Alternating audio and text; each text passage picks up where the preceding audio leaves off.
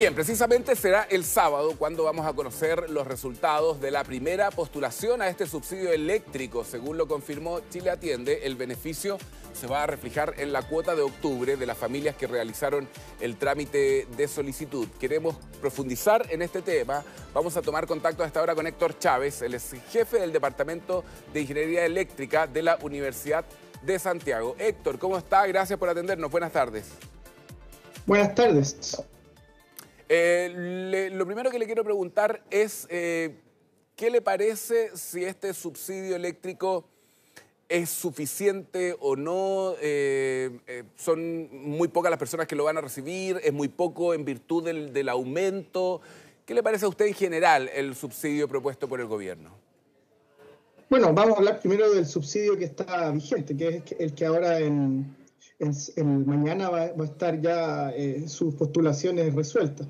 Eh, se hablaba, ¿cierto?, de 40% más vulnerable, ese era como, digámoslo así, el eslogan, pero la verdad es que 40% era nada más eh, el, el, requisito de entrada, porque el 40% de las personas más vulnerables, según el registro social de hogares, eran muchas más que, que, los recursos que están destinados para este subsidio. Entonces, la verdad que de, de ahí más o menos surge esta necesidad de aumentarlo de que este 40% sea efectivo.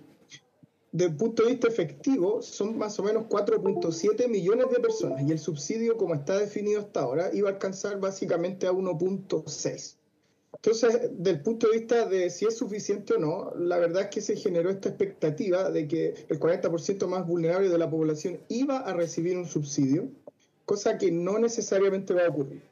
Entonces, eh, desde ese punto de vista, eh, efectivamente, el, gobierno ha estado buscando, ¿cierto? Y hay ya una eh, nueva, un, nuevo proyecto de ley destinado a ver cómo vamos, ¿cierto?, a obtener dinero nuevamente para poder aumentar este subsidio y que ese 4.7 millones de personas de los 40% más vulnerables, según el registro social de hogares, efectivamente reciba este subsidio. Claro, porque lo que vamos a conocer ahora son las personas que postularon en julio, ¿no? Y en octubre viene un alza importante de la luz, pero el próximo año va a volver a subir. Lo que quiere hacer el gobierno es buscar recursos para poder ampliar el rango de cobertura de las personas que reciban este subsidio, porque en algún lo primero que se dijo, Héctor, eh, a ver si no estoy equivocado, el 40% de menores ingresos y además el otro prerequisito era que las personas estuvieran al día. Y eso significaba que había que postular. Y en esa postulación se le iba a dar prioridad a las personas de la tercera edad, personas que tuvieran algún nivel de, discapacidad, personas menores de 18 años. ¿no? no era que inmediatamente la persona que postulaba eh, iba a alcanzar este subsidio. Efectivamente, había una serie de condiciones. Eh, bueno, la condición más importante es que el subsidio tiene un límite en dinero. Y la verdad es que se va, a, me imagino yo, se va a cortar el subsidio en la medida en que ese dinero se acabe. Pero lo que estaba mencionando yo, ¿cierto?, es eh, que este 40% era una cifra un poco engañosa. Entonces, lo que ahora está diciendo el gobierno es, bueno, el 40% de los más vulnerables, ¿cierto?, según registro social de hogares, y esa es una cantidad de personas mucho mayor, el triple, de las personas que se pueden eh, cubrir en este minuto. Lo segundo es que el alza de las tarifas, hay que tenerlo súper claro, va a ser, como era antes, eh, continua. Cuatrimestralmente, ¿cierto?, la Comisión Nacional de Energía hace un estudio donde determina cuál es el costo real de la electricidad y si el costo real de la electricidad, no sé, uno no tiene una bola de cristal, sube sustancialmente el próximo año, va a volver a subir la electricidad. Además de eso, en enero va a haber una nueva alza que tiene otra naturaleza. Eso eh, estaría bueno a ver si, Héctor, tú nos puedes ayudar a explicarlo. La de octubre, la del, eh, todavía corresponde al congelamiento de las tarifas durante la pandemia del 2019, ¿no? Ahí se sumó una deuda de 6 mil millones de dólares. La de octubre corresponde a esa alza. La que viene más adelante, ¿cuándo es y a qué se debe?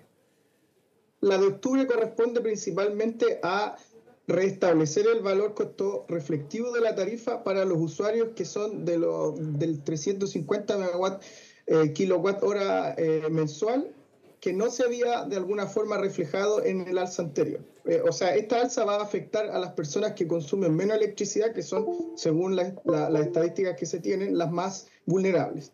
En enero va a haber otra alza que tiene que ver con otra cosa, tiene que ver con la deuda en la que hay que se ha incurrido, ¿cierto? Porque la tarifa no había subido. En este minuto estamos reajustando la tarifa al valor costo efectivo de hoy.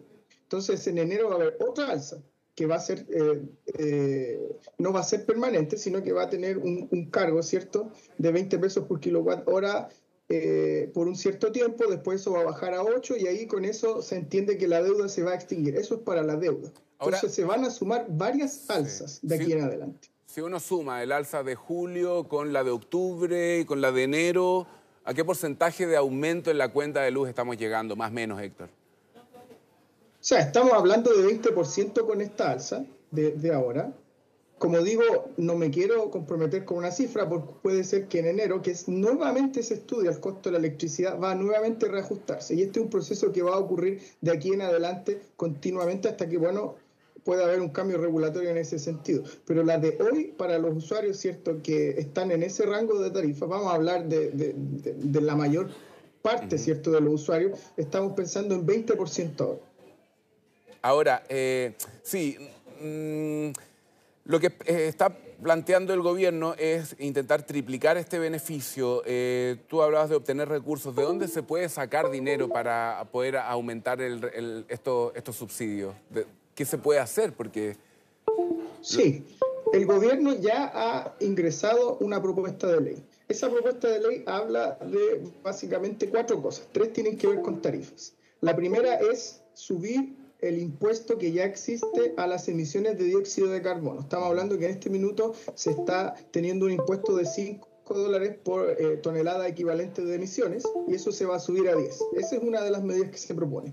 La segunda tiene que ver con el impuesto al valor agregado, el IVA, que se va a obtener como recaudación fiscal por la, el alza misma de tarifas. Se propone, ¿cierto?, que esa alza de tarifas que va a producir también una mayor recaudación, esa recaudación por IVA se agregue al subsidio. Y la tercera cosa es tener un aumento, ¿cierto?, de eh, impuesto o, de, en este caso, un aumento en la carga que se le va a generar a los retiros de energía que ocurren de eh, los grandes consumidores de energía se ha pensado en esas tres cosas para recaudar más dinero. Y hay una cuarta cosa que no tiene que ver con la tarifa, pero sí tiene que ver con la contingencia y de alguna forma aumentar las medidas, las multas u otras cosas que tiendan a eh, desincentivar el, el, dejo de mantenimiento en la infraestructura de distribución de modo que pueda de alguna forma eh, eh, funcionar mejor. Las multas por, por cortes, por ejemplo, sería una de esas fuentes de, financiamiento. Finalmente... No, no, perdón. sí, eh, a ver, las personas que ya no postularon, o al menos las que no van a, salir dentro del subsidio del sábado, eh, ¿existe alguna nueva forma de postular? ¿Pueden sí ser incluidos en, los nuevos, entre los nuevos cupos que se van a abrir, podríamos decir, o no? ¿O ya no? ¿O ya está cerrado? La postulación para este subsidio ya está cerrada y mañana es que se define y se ve y se hace pública el resultado.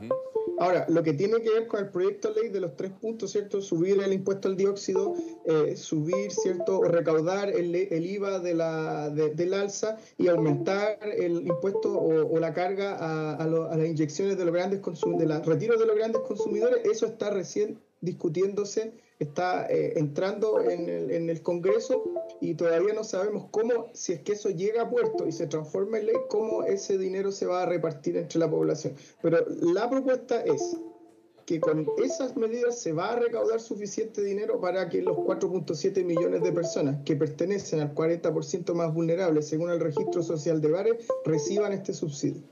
Claro, la idea del gobierno es que eso pueda llegar hasta 10 millones de personas. Para eso pretenden ampliarlo vía esas fuentes de financiamiento. Eh, Héctor Chávez, muchísimas gracias por conversar con nosotros. Que esté muy bien, buenas tardes. Igualmente, muchas gracias.